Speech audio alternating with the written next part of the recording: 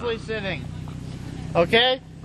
So if we call out number two, you're going to go in there, sort out number two, bring him back across the halfway line.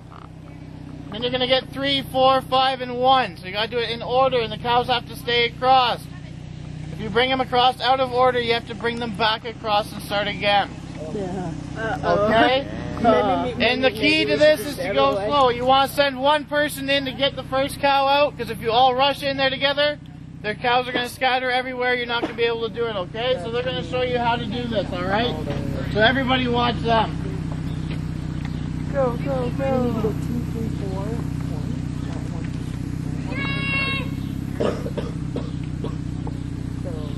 So they're getting number three.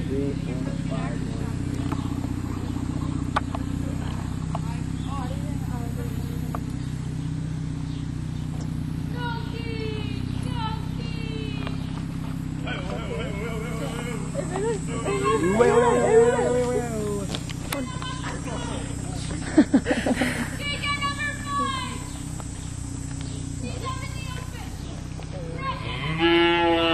cows from over here.